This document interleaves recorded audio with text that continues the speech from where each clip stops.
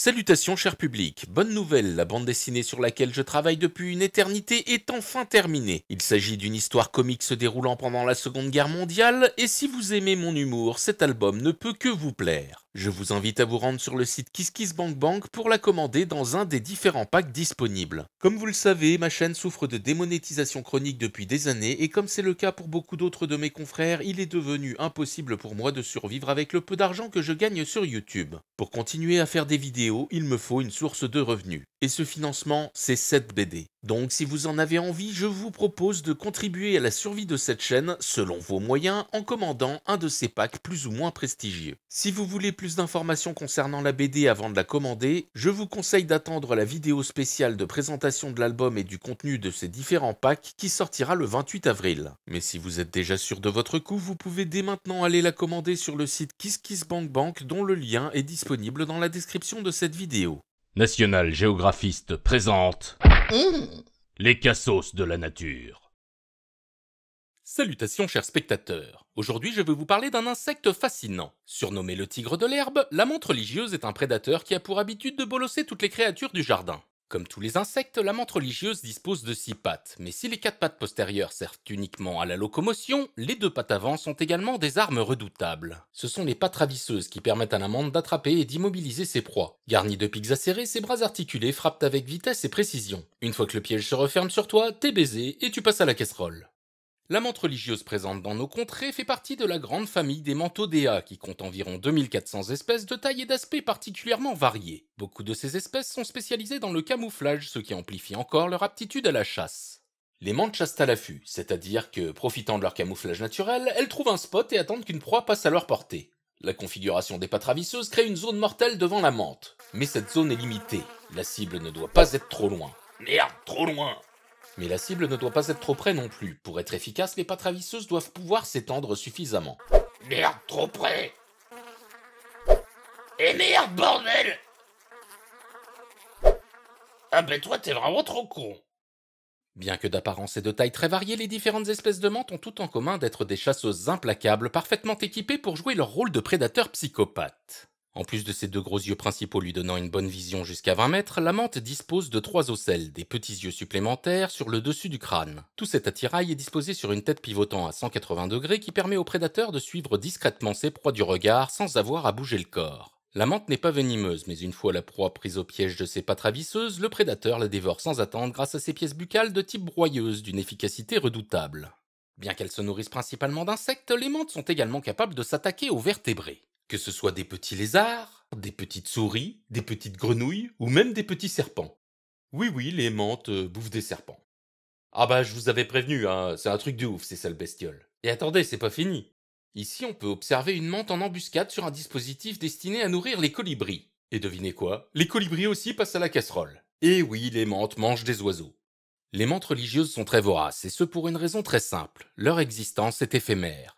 Elles naissent au printemps, s'accouplent en été, pondent en automne et crèvent au premier froid de l'hiver. Elles ont pas le temps de niaiser. Et comme la reproduction va leur pomper un max d'énergie, il faut qu'elles se goinfrent autant que possible. Cette vidéo vous est présentée par Red Shadow Legends. Non, fini les pubs de merde dont personne n'a rien à branler. Je ne vendrai plus mon cul pour quelques milliers d'euros. Du moins tant que mon compte en banque est en positif.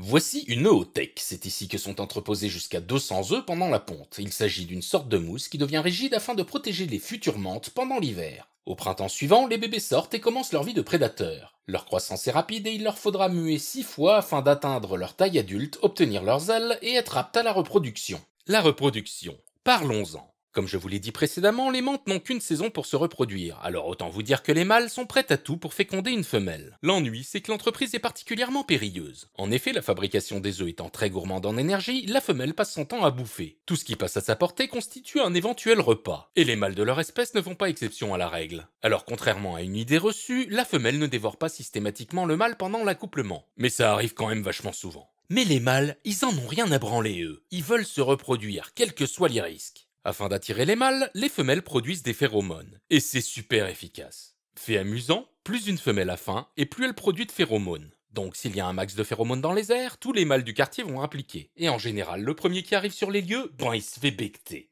Voici un exemple, trois mâles qui ont un rencard avec la même femelle. Le premier a pas eu de chance, il s'est fait choper direct et la femelle est en train de le déguster. Le second en a profité pour lui grimper dessus et lui faire son affaire pendant qu'elle est occupée. Et le troisième attend sagement son tour. Et il ne s'agit pas d'un record, loin de là. Ici on a la bagatelle de 5 mâles sur une seule femelle. Quand on aime, on ne compte pas. L'heure est venue d'aborder le chapitre le plus incroyable de cette vidéo. Le fameux détail croustillant que vous attendez tous, bande de vilains garnements.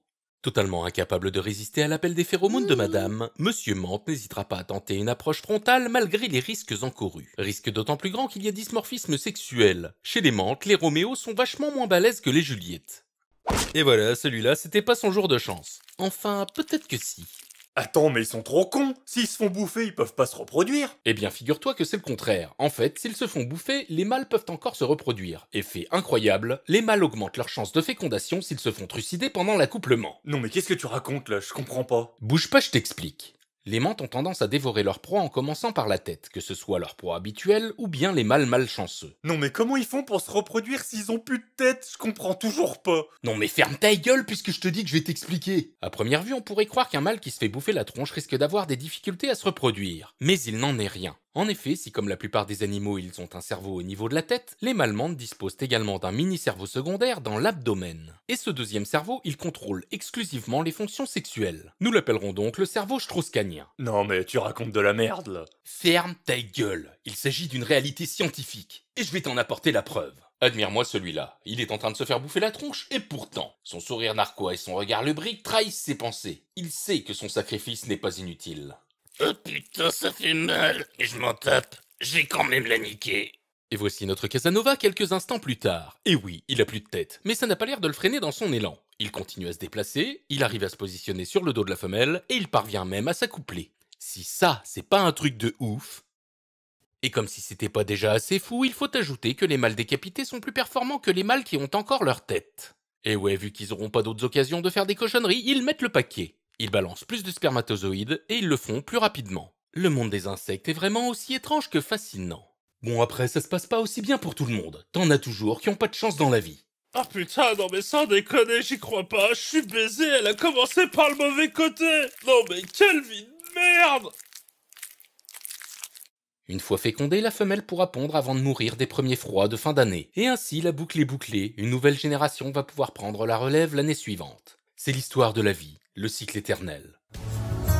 C'est l'histoire L'histoire de la vie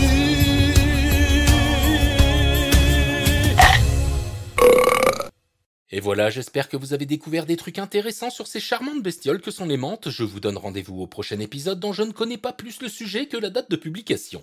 Ah bah si, en fait, le prochain épisode c'est dans une semaine et c'est la vidéo de présentation de ma bande dessinée GI Blues. Vous pouvez la commander dès maintenant et ce jusqu'au 20 juin 2023 sur le site KissKissBankBank en cliquant ici ou en suivant le lien dans la description de cette vidéo.